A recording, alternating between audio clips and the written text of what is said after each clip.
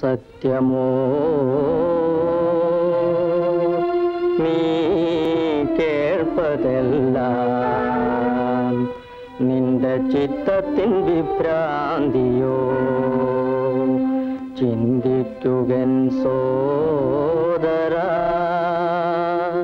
ഇതിൽ ചിന്തിക്കാൻ എന്തുണ്ട്? അന്നച്ഛൻ പിരിയുമ്പോൾ കണ്ണില്ല നിനക്കായി തന്നേച്ചു പോയുള്ളൊരു തങ്കപ്പൈങ്കിളിവൾ അതെ അത് അച്ഛന്റെ വാത്സല്യം കൊണ്ടാണ്. അമ്മതൻ വാത്സല്യത്തോടുരുളച്ചോട്ടിയും അനുജത്തിയായി നിൻ കൈപിടിച്ചു നടത്തിയും. സ്വന്തമാം സുഖമെല്ലാം സന്ധ്യജീച്ചവളെന്നും